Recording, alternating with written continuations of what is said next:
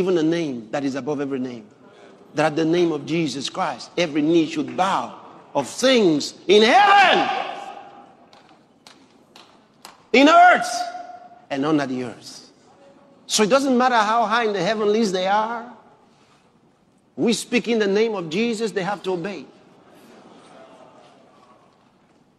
They have to obey. We don't have to come close enough. The Bible doesn't say we should come close.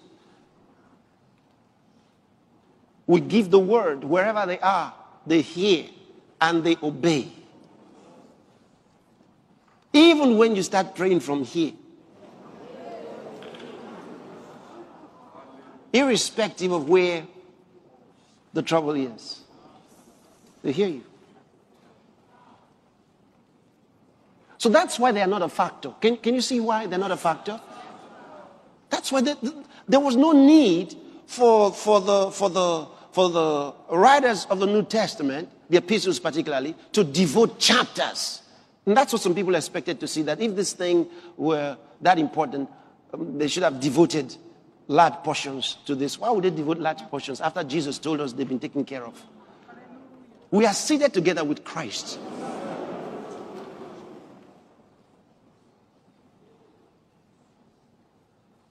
So Satan and the courts of hell are no, they're not a factor at all. In fact, when you're told that something, that demons are responsible for anything, you should understand that that makes it easier. Because, because they understand authority. Whenever I know that demons are responsible for something, it makes me happier because to me, that makes it easier. I always prefer it when demons are responsible. because that's quick, it's quick response. They understand the message. Sometimes I cast out devils by using my head. I say, mm-hmm. they, they get the signal. They understand it. It's easier. You know, some people think it's harder, you know, because they say, it's demons are responsible. It's demons. These devils are very wicked. we are not using our own authority that we got by ourselves. We are using the authority given to us by Jesus Christ Himself. And He didn't say, if I have faith. No. No. It was not based on any condition. It's by who I am. Was seated together with Christ. It's by who I am. If there's a devil there, even if I'm feeling sleepy, I say, get out. He will go.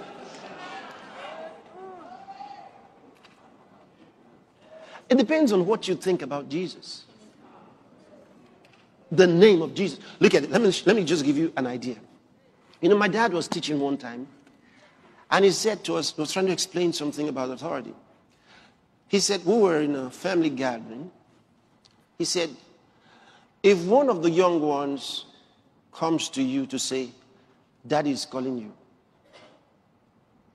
he said, Even if he was joking,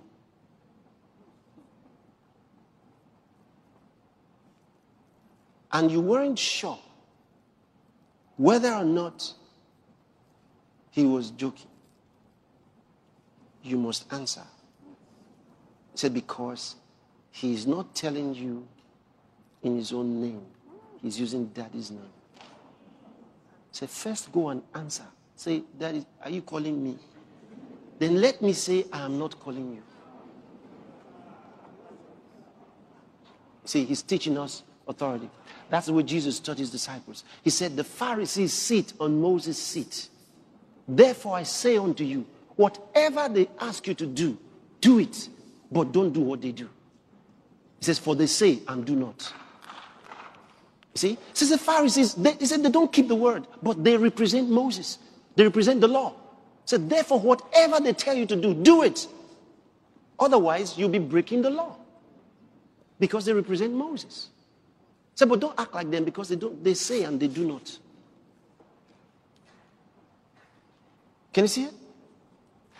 And that was how the, Spirit of God taught me about authority. The very first crusade, the miracle crusade where I preached, because the very first one I organized, my friend, I asked my friend to preach. But the one where I preached, this was how the Lord prepared me for it. He took me to this scripture. The Pharisees sit in Moses' seat. Therefore I say unto you, whatever they say unto you to do, do it. But don't do what they do. So he also said, My children, they sit on whose seat? Jesus' seat. Forget about how am I acting, how am I behaving, how am I, how am I. I sit on Jesus' seat. Therefore, they have been told that whatever I say to them to do, they must do.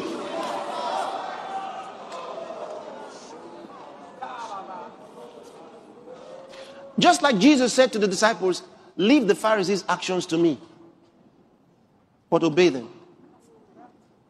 Same way the de- demons understand that's a spiritual principle. So even if they're accusing you, how can you cast me out? You that you don't tell the truth. How can you cast me out? You liar.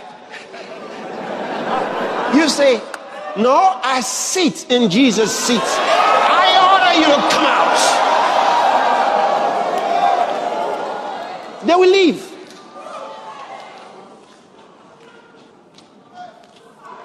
Is he supposed to judge us? He said, okay, okay, let me show you scripture.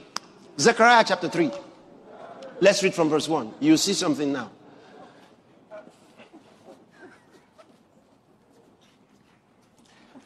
Zechariah chapter 3, from verse 1. And he showed me Joshua, the high priest, standing before the angel of the Lord, and Satan standing at his right hand to resist him. What's he trying to do? He's there to accuse. Okay, next verse. And the Lord said unto Satan, The Lord rebuked thee, O Satan. Even the Lord that had chosen Jerusalem rebuked thee. Is not this a, a branch plucked out of the fire? He's there to resist him. And what does the Lord say? Joshua, you see now, if you were doing the right thing, would Satan be here to resist you? Was that what he said? No! He turned to Satan and said, The Lord rebuke you.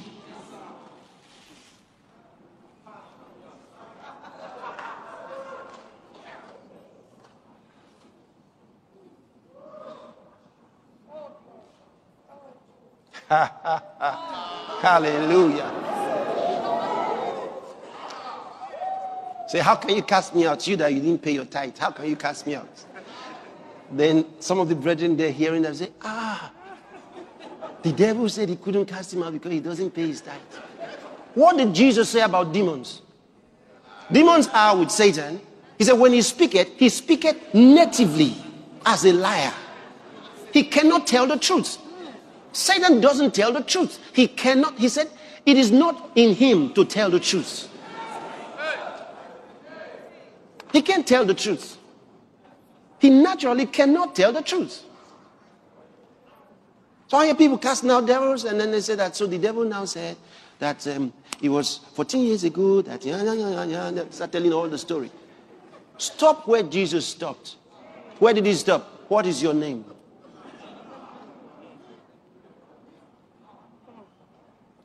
That is enough. He says, My name is Legion, for we are many. He can go ahead and say, We are 10 of us. And I know that I cast out devils. I know that sometimes they tell lies. They tell you we are three, and I find there are nine. so I only use the one that is, What is your name? That's what Jesus asked. He wasn't engaging them. He said, okay, now tell me.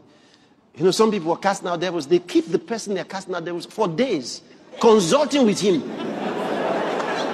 Consulting with him. Tell me exactly when you came here. Tell me exactly when you came here. So they've written that down. Okay, what are the things you have done? What are the things you have done? Then they say, I killed three people. I killed three people. I killed three people. I killed three people. I shot one. I conquered one.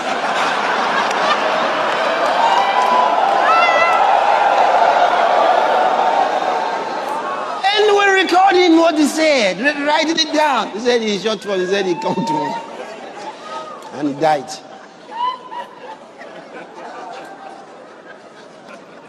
And you really believe all those tales the devil is telling you? What did Jesus say about him? That he tells lies. Ask him only the question Jesus asked What is your name? It's enough. tell him to get out. Him to get out. Then he said, I'm the one that has been troubling the church. I'm the one that has been troubling the church. Now we continue to trouble the church. Then you say, okay, okay, okay. So you're the one troubling the church. Yes, yes. I trouble the church.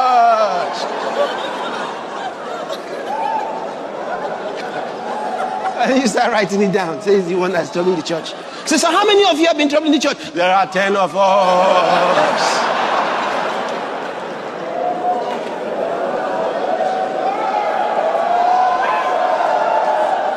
You know, you don't need to get the information from him because he's a deceiver. Most likely, he's deceiving you. Once he's saying, I'm the one troubling, just say, You are living now.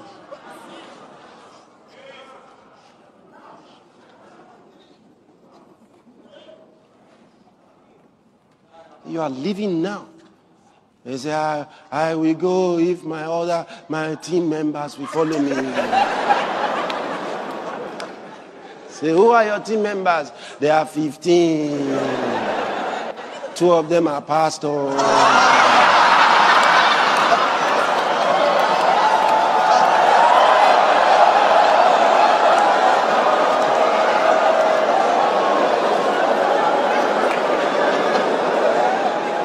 That's the way they've caused chaos in certain churches and in certain circles. So now, instead of the gift of discerning of spirits, we are using what? Demonic uh, consultations. He's now telling us, he's, he's revealing to us. We believe him. He told me he has 15 people here. I believe him. I really believe him. A devil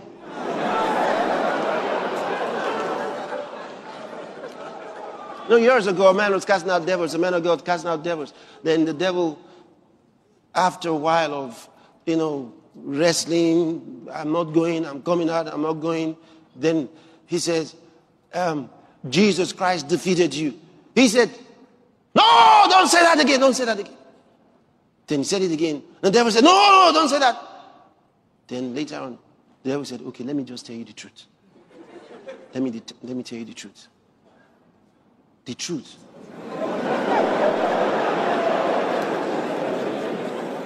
Can the devil tell him the truth? And you know what? The devil gave him the history, how he fell, and how all these things that, you know, things that we are supposed to be seen in the Bible, how everything came and how he was defeated, but not completely.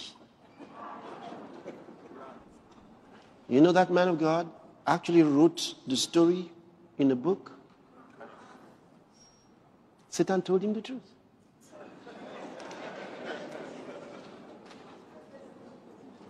And used the, the, the, the statements of the devil that he was casting out as things to warn God's people on things they should be very careful of. You know, a lot of things that people tell us they got from the devil. They tell us the things we should be very careful about. Very careful. If you if you sleep and you you wake up with something like this, be careful. If you want to sleep, make sure you don't drink too much water. You might dream this kind of dream. Be careful. If you want to have your bath, make sure that you face this side. Be careful. So we find ourselves becoming very careful about different things because we don't want demons to come into our lives. Come into our lives. Demons?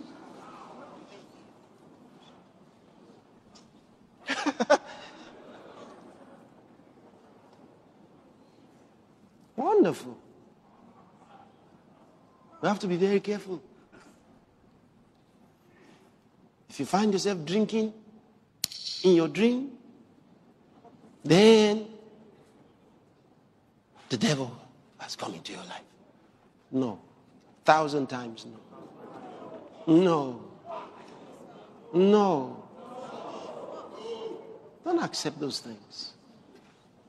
We have been placed far above principalities and powers far above them. We're far above them. We're far above them. Kindly subscribe, turn on your notification bell, like, comment, and share. Thank you.